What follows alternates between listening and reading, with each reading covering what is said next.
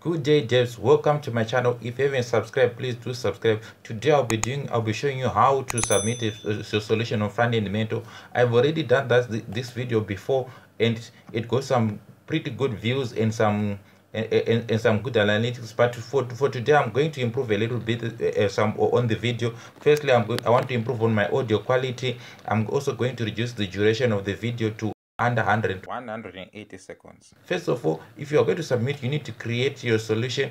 As you can see from from from from from from today i'm going to do the fa fa card card component. So just copy the title. That's what i prefer to do. Then i submit. Make sure that it's set to it's to you set to public and create a repository now we're going to be uploading our, our, our, our project. Just click on uploading existing file. Next you have to choose your files.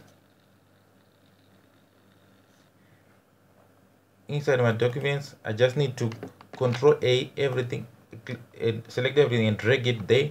While it is uploading don't don't leave the page or don't close the page. Now the uploading is complete. Click on cancel and come right at the bottom of the page. Just write initial commit. That's a comment. Click on commit changes.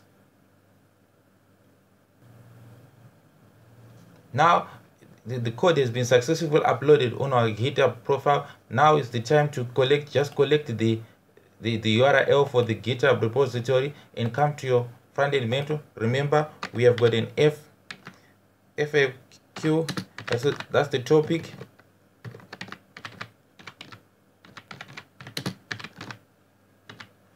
Now, just paste your copied repository URL. Now, let's go and publish the video.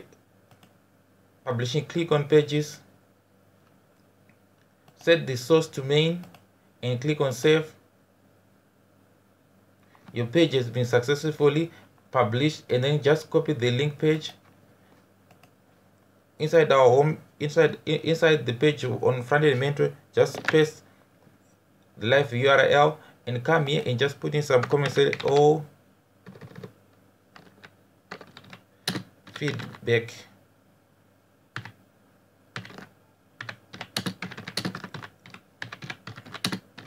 Thank you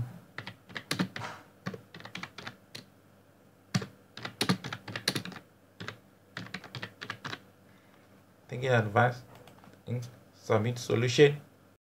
We can check on our home page for front-end mentor. Now after we have submitted the solution it's the time to check on our solutions page. As you can see my solution was on the face is, is on the extreme left side left side as the as the latest solution to be submitted. Thank you